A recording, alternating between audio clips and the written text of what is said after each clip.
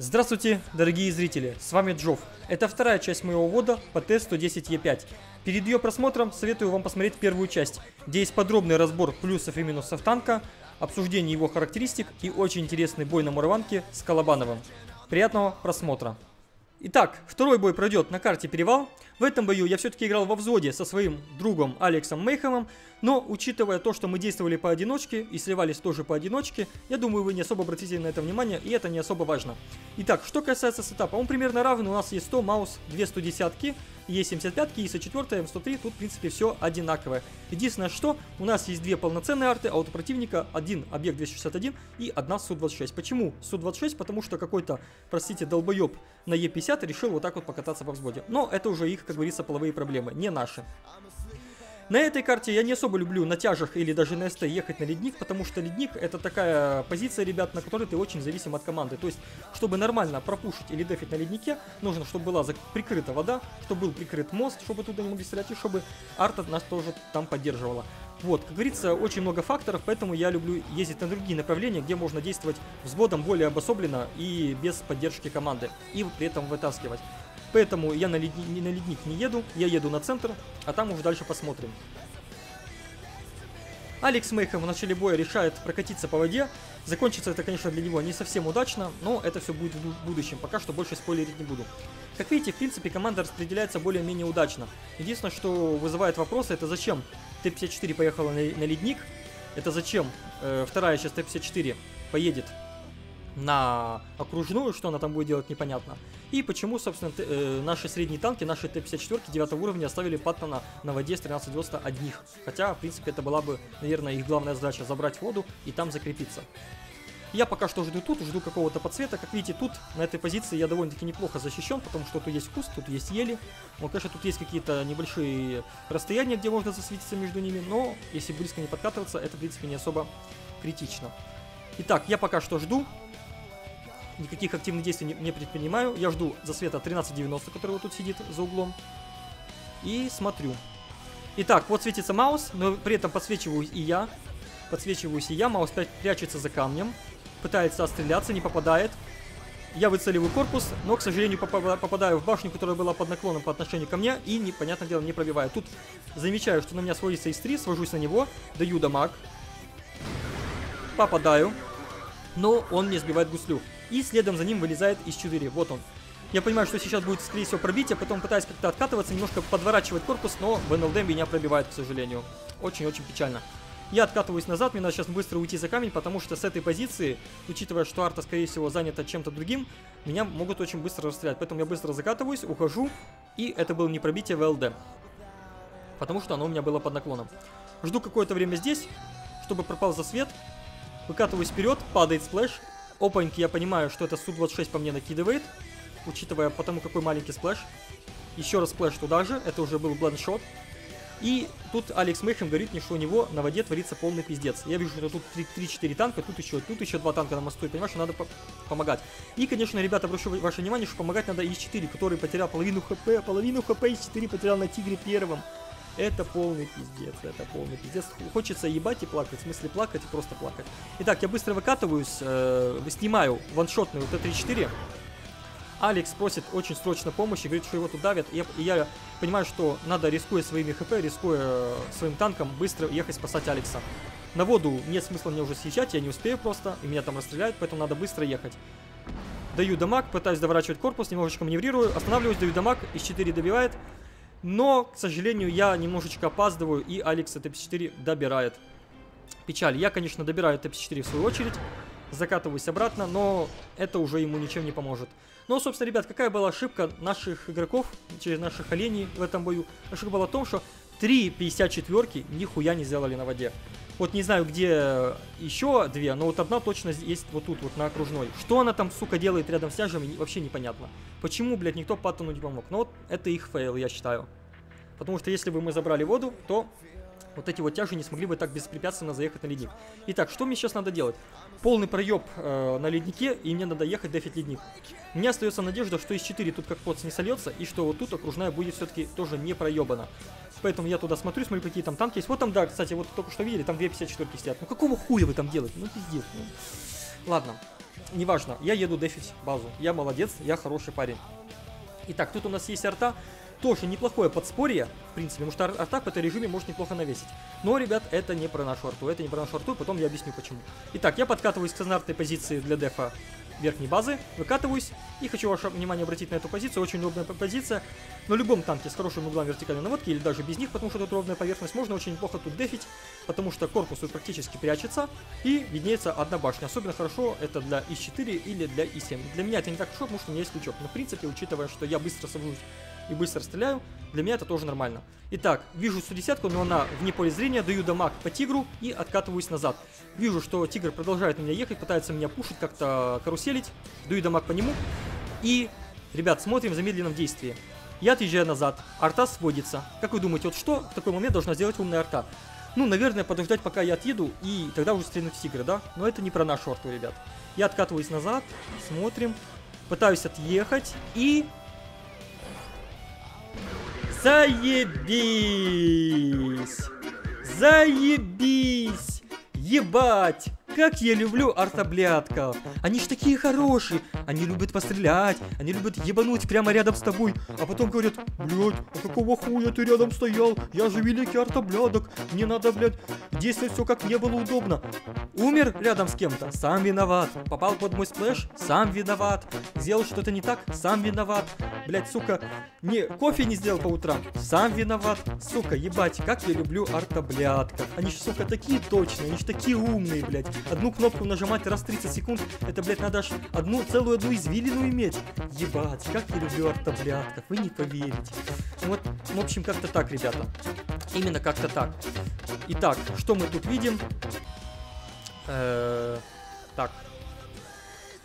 Мы видим тут, что я, честно говоря, в этот момент боя... Честно говоря, в этот момент боя я просто пиздец как матерился, пиздец как матерился. Я уже поворачивал ствол, я хотел убить этого мудака, убить этого мудака. Только живительные слова Алекса Мейхема, который, который мне прямо вот сейчас говорил, Джофф, не обращай на него внимания, не трогай его, Джофф, не трогай его, он тебе еще поможет. Только поэтому я его не убил. Честно, хотелось просто развернуться, вот так его из свертушки в щи просто взять и уебать его, мудака этого тупорылого, сука, с ником Маршал Росс. Ладно, продолжаем дефиться, ребят. У нас мы лишились 508, 565 хп. Но при этом у нас есть трупик, из-за которого можно играть. И это, конечно, тоже преимущество хорошее. Итак, продолжаем. По мне попадает 110 я даю рикошет, плохо прицелился. Тут я все еще думаю о том, как бы уебать этого мудака. На меня выкатывается из. Даю дамаг крючок. Стреляет из по арте. Из 4 сзади подкатился, спасибо ему большое. Помог добедиться. Так, тут выцеливаем 110 110 не, не, не глупая не пробил. Как видите, ребят, это было то, о чем я говорил вам в начале вода. То есть лючок пробивается, но если попадать вот сюда, в края совсем, вот сюда, то возможно и не пробитие. Итак, Ис начинает танковать. Я, учитывая свои хп, не хочу вылазить первым. Вот, не прорывает мне 110 значит у нас есть преимущество по КД. Там еще четверка, но это не важно, надо быстро забрать 110 -ку. Забираем 110 -ку. Тут у меня опять же удобная позиция, два трупа, меня защищают. Пока из 4 как э, Уйбан танкует. Зачем он наверх полез, я не знаю. Он, его, его держат на гусле, разбирают. Ну, а тем временем, пока его разбирают, я начинаю дамажить из 4 вражеские. Вот тут я фейлю, не пробиваю в скулу. Надо было все-таки в НЛД стрельнуть. Даю еще раз дамаг. Уже в мехвода. И понимаю, что просто, просто полный пипец творится. Просто творится полный пипец. Потому что окружная, как видите, проебана, ледник проебан и заходит с двух сторон на нас. Я аккуратно играю от, от трупов. Тут продолжает по мне накидывать э, какая-то мелкая арта. Отлично. Вот, вот за это, вот честно говоря, вот за это я почти-почти простил э, наш 212 объект. Он сделал Е50 blow up и этим самым очень сильно мне помог. Молодец. Ну вот за это ему спасибо, конечно. Базару ноль. Итак, ребята, ну а тем временем, тем временем, конечно, Су-26 пытается убить 217 объект. Но тем временем, вот та вся огромная толпа, которая сидела вот тут на окружной, они все слились. И на меня едет Маус и из 4 М103 уехал, я увидел на воду за наши 5-4. А мне надо дефить. Не знаем, как будет сейчас дефить, но, возможно, арта как-то нам поможет. Итак, я занимаю позицию. Тут, опять же, она довольно-таки удобная. То есть, как видите, виднеется, опять же, только часть корпуса и башня. И я жду. Смотрю, что там сзади. Арта приготовилась. И мы ждем. Выкатывается маус. Не пробиваю в щеку. Возможно, просто туда не попал, попал в маску. И я начинаю пытаться как-то... Задам... Я понимаю, что маус, смотрите, ребята, надо правильно э, распределять приоритет, приоритет целей. То есть, маус, фуловый практически, его я буду убивать очень долго. Из 4 мне примерно на 2 выстрела. Поэтому первым делом, понятное дело, надо убивать из 4, который более маневренный и может меня об обойти и закаруселить. Поэтому я пытаюсь выцеливать ее. И его, к сожалению, не пробиваю. Откатываюсь назад, еду назад, еду назад, маневрирует. Маус, к сожалению, убивает арту. Я сажу Мауса на гуслю и стараюсь сводиться на ИС-4. ИС-4 меня пробивает. Даю дамаг и по нему еще раз. Как видите, когда я еду, ребята, не просто еду, а немножечко кручу своим лбом из стороны в сторону. Это немножечко помогает, чтобы было не пробитие или рикошет. Такой, в принципе, стандартный финт. Вот только что был рикошет. Маус стрелялся. Из 4 не успел стрельнуть, и я еду вперед. Вот тут, ребята, многие э, игроки совершают ошибку. Они начинают Мауса таранить. Маус никогда нельзя таранить, потому что у него очень большая масса, и он вас просто 200 хп, 300 хп снимет даже на скорости 20 км в час. Поэтому я начинаю сдавать назад и выцеливаю гуслю. Сажу ему на гуслю, вытанковываю урон, он попадает, попадает мне в орудие. И что я делаю с Маусом, ребята, на 110 я начинаю его каруселить. И вот сейчас, вот сейчас я его... Что, кстати, сейчас вот я делаю за финт? Я делаю стандартный финт, который делают и паттоны, и ватчаты, и Т-54, и сейчас Т-62, которые появились недавно. Я притираюсь к Маусу, конечно, у меня танк довольно высокий, но при этом, э, как видите, Маусу трудно достать э, мой корпус. Ему надо выцеливать только или лючок, или крышу башни. Поэтому я к нему притираюсь и начинаю маневрировать туда-сюда, чтобы он не мог меня выцелить. Вот я так делаю, туда-сюда каруселю. Пятое, десятое. А, начинаю его обходить. Критую ему. Все только что можно закритовать. Как видите, башня ворочается у него очень медленно. Еле-еле ворочается башня. Намного медленнее, чем обычно. И добиваю в щеку. Вот и все. Вот так вот можно дефить на верхней базе на перевале. Фух, после этого я передохнул нереально. Это был очень экшеновый бой. Тащил как мог. Уебаны слились везде, где только можно слиться, но тем временем все-таки удалось мне затащить. Фух. Прошу не обращать внимания на небольшие там оговорки, которые у меня были сейчас в ходе записи. Там я сказал ее, его, там что-то перепутал, но это не важно, в принципе, я думаю, не критично. Надо, кстати, обратить внимание на нашу 5-4, которая, хотя она весь бой и кусто сидела там где-то на окружной вместе с тяжем, вместо того, чтобы помочь на других флангах, но тем не менее, смотрите, в нужный момент она поехала, уехала на базу, убила объект 261, это ей плюс, плюс убила М103. Это тоже очень хорошо. И сейчас осталось только Су-26. Фух, э, что можно сказать по этому бою? Как мог, помог на мосту разобраться. И, собственно, весь бой прошел, конечно, на верхней базе. Как видели, там есть немало удобных мест не, немало удобных позиций, с которых можно задефить и благодаря скиллу затащить. Отдельное спасибо, конечно, хочется сказать нашей артиллерии, которая отлично меня уебала на 565 хп, и потом, конечно, отлично сняла через боеукладку Е50. Если бы на Е50 не сняла, наверное, бой бы я этот, скорее всего, не затащил. У меня 6 рагов, 1842 опыта, 86 тысяч денег. 28 выстрелов, 26 попаданий. Неплохо. Снайпер, воин и стальная стена.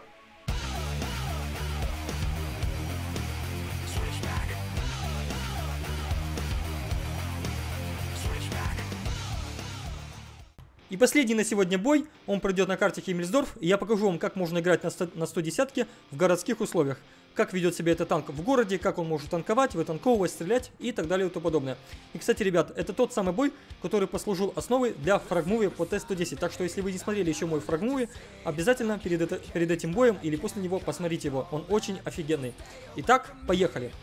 Я тут один, я в топе, немножечко рты, немножечко 1390, пару СТ, пару тяжей. В общем, такой вот разношерстный сетап. Что делать в начале боя на 110 -ке? Ну, учитывая, что мало опытных игроков, в принципе, да, в рендоме, я решаю, что лучше всего поеду я на банан и попробую вытанковывать там. Как я буду вытанковывать на банане, учитывая, что у меня борта не очень, а в НЛД есть немало слабых мест, я буду делать это через борта, как из 4. Но немножечко есть своя специфика в этом. Сейчас я вам все покажу. Итак, поехали. Этому приему мне, кстати, научил, если не ошибаюсь, Страйк. Страйк, да, в свое время, когда мы с ним катались еще до нашего с ним стрима, он меня научил вот этому приколу на 110-ке. Итак, едем. Тут я просматриваю, что по центру. Я, в принципе, люблю иногда с центра просто угандошить какого-то там светляка или какую-то арту, которая стоит на респе и вообще ни хера не чухается. Итак, 1390 поехал на банан и слился. Красавчик! Как там, как мы любим говорить с Дезертодом? Красавец! Красавец, базар 0. Су-152 уже отхватывает пиздюлей. Вот какого хуя ты сюда приехал, днище, блядь, без башни? Итак, я прикатываюсь сюда, подкатываюсь к углу, и смотрите, что я делаю. Хорошо, две пиздюли отхватил из 4, и смотрите, как я выкатываюсь. Примерно как из 4, тоже полубоком. В чем прикол такого выкатывания? У меня нет толстых бортов, как из 4, то есть э, меня в борта пробить можно. Но при этом, смотрите, у Т-110 э, есть гусеницы, которые занимают очень большую часть э, всего его силуэта. То, то есть, видите, корпус это только вот такая небольшая часть. В отличие, в отличие от Т-4, у которых корпус вот так вот залазит. Вот так. Получается, что если противник стреляет вот, вот так вот, он попадает в гусеницы, и снаряд просто проходит и попадает или в землю сюда, или в здание. Вот, или вообще просто в танк не попадает. Вот, поэтому можно вот так выехать, выехать аккуратно, дать дамаг и опять заехать. Но делать это надо, надо очень аккуратно. Смотрите, я выкатываюсь, даю дамаг и опять закатываюсь. Ждем пока что. У меня быстрое КД довольно-таки. Пытаются меня выцелить, попадают в угол, как видите. Опять выкатываюсь. Даю дамаг, правда, просто в гуслю. И видите, опять не попадают. Они пытаются выцелить гуслю, но им это не помогает. Як тигр страдает тут. Я его сажу на гуслю, стреляю в, в, в бок. Вот тут хочу выехать, стрельнуть. Вот, опять же, то, о чем я и говорил. Меня выцеливал и 7, но так как по отношению к нему он видел только, скажем так, я не могу показать кон конкретно, может камера не позволяет, но он видел только вот тут кусочек моей гусли. Как видите, он попал в гуслю, дамага нет, единственное, что сбил мне гуслю. Вот и все, просто в задний каток мне попал. А я попадаю ему в бок э, щучьего его носа, клюва и пробиваю.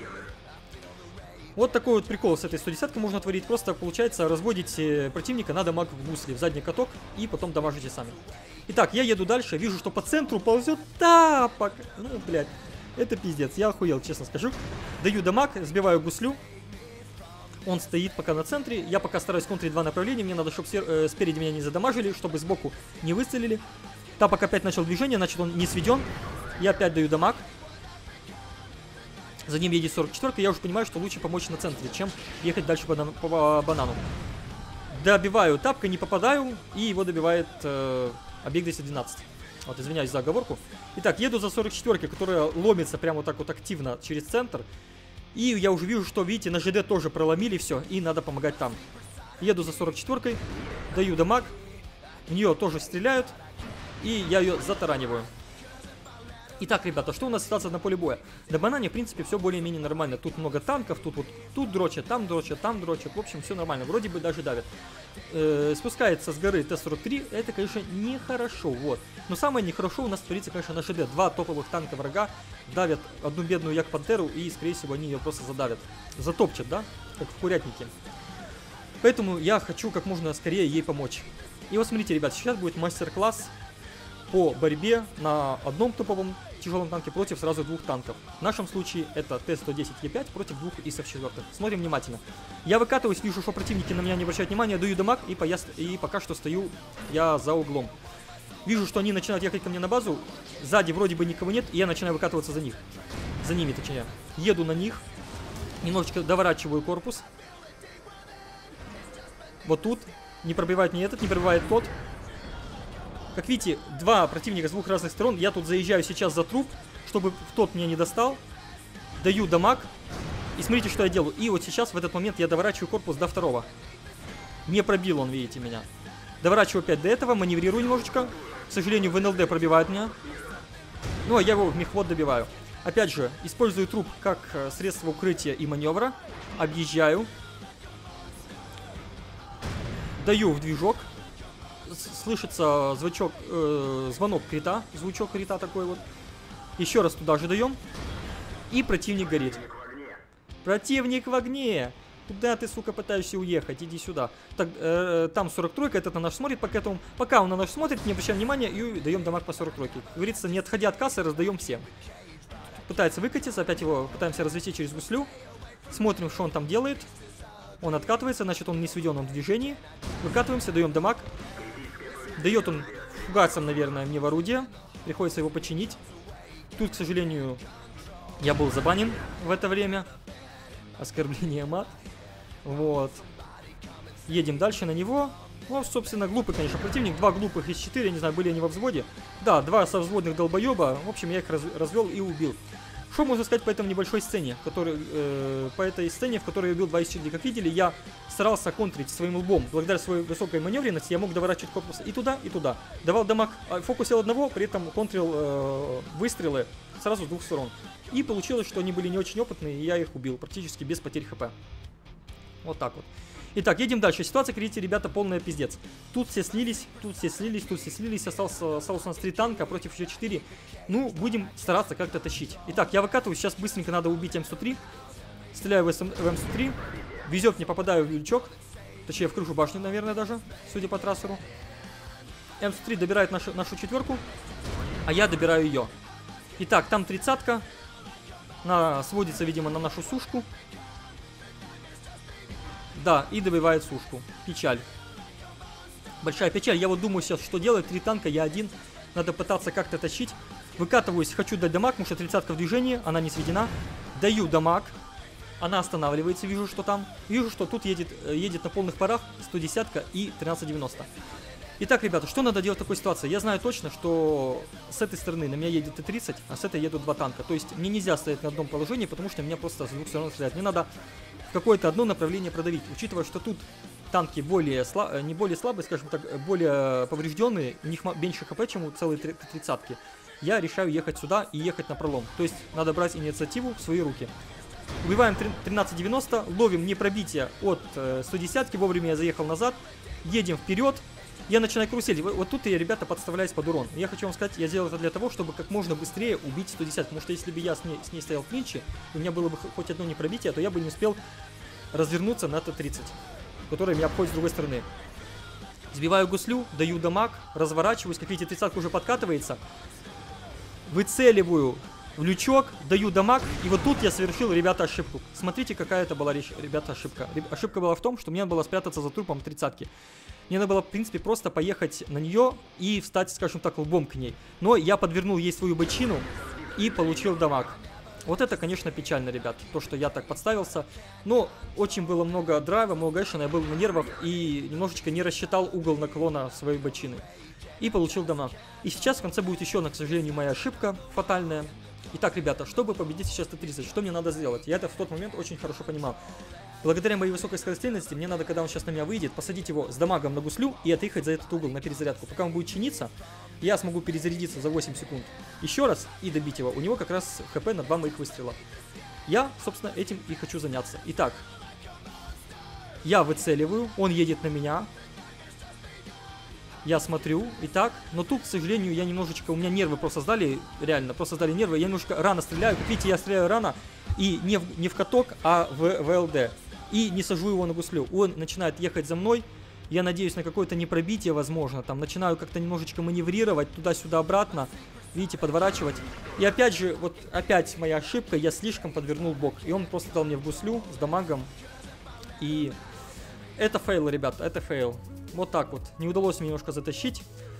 Но тем не менее, я получил 1200 опыта. 90, 94 тысячи денег. Если бы я затащил, это было бы 2300, 2400, наверное, где-то так. Потому что очень много денег я получил. 6 фрагов это воин. 20, 26 выстрелов, 25 попаданий. А, и воина дали не мне даже, а воина дали, к сожалению, вот этой тридцатке, которая сделала тоже 6 фрагов, и она победила. Печаль. Ну, у меня зато снайпер. Вот такой вот бой. Немножечко не хватило мне скилла, точнее даже не скилла, я, я думаю, это просто из-за нервов было. Вот из-за нервов я вот последние две эти фатальные такие ошибки совершил, потому что, ну, в конце боя бывает так, нервничаешь, прям вот трясешься весь. Вот в таком духе.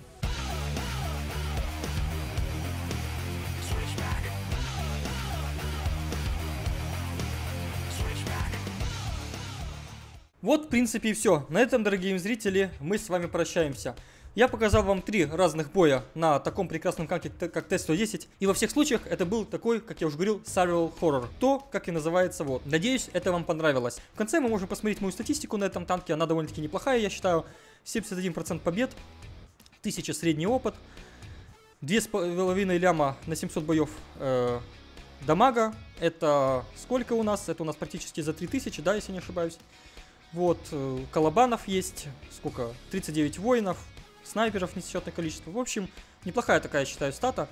Если вы все-таки просмотрели этот вот и вам очень не понравился мат, можете поныть в комментариях, рассказать там, какой джов плохой, какой джов нехороший. Но перед самым окончанием у меня будет небольшое объявление по поводу нашего конкурса «Сдай двору». Как вы знаете, несколько недель назад стартовал наш общий конкурс с сайтом «Дай двору». Вот по этому поводу я даже сделал видео, потом рассказал, что и как надо делать. И вот сейчас пришло время подвести итоги и посмотреть, какие уже есть победители. Заходим на сайт, он подгружается у нас и смотрим. Итак, вот он топ-10, вот те самые победители, которые получат свою долгожданную голду. Итак, на первом месте и 15 тысяч золотых монет у нас получает Баранов Алексей. Баранов Алексей, я с тобой в ближайшее время свяжусь, и ты получишь свою голду. Второе место Титова Марина.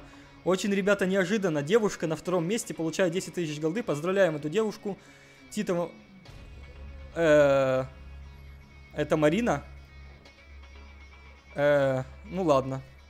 Наверное, эта Марина приехала из Рио-де-Жанейро, а я или, или Таиланда. Как я слышал, там это вполне такое нормальное явление. Помолвлена еще с кем-то. Эта Марина еще с кем-то помолвлена? Ну ладно. Ну ладно, Марина, я с тобой тоже в ближайшее время свяжусь через контакт и переведу тебе твое золотишко. И на третьем месте у нас Белуха Игорь. Белуха Игорь, посмотрим, как он выглядит. Ну, нормальный такой парень. Игорь, с тобой тоже свяжемся и все тебе переведем. Ну и остальные 7 наших призеров получают утешительные призы по 1000 золотых монет. Не забывайте и в будущем участвовать э, в конкурсах наших, и не, не забывайте, что сайт Дай Двору это в принципе довольно неплохой заработок э, золотых монет или просто люб, любой, любой игровой валюты, если у вас есть немало свободного времени.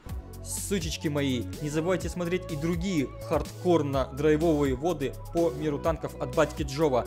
Слева внизу Просто охуительнейший вот по MX-50B, хардкор молодость и реды читеры в комплекте. Ну а справа внизу двойной вот по бочетильону 25T. Куча уебанов, куча приколов, куча мата и куча хардкора. Тыкайте, смотрите и будет вам счастье. И также не забывайте, ребята, отвечать на уже традиционный вопрос дня. Сегодня он звучит так. Нужен ли мат в моих водах или не нужен? Посылать вас нахуй или не посылать? Отвечайте в комментариях, ребята. Всем добра. С вами был Джов. Чао.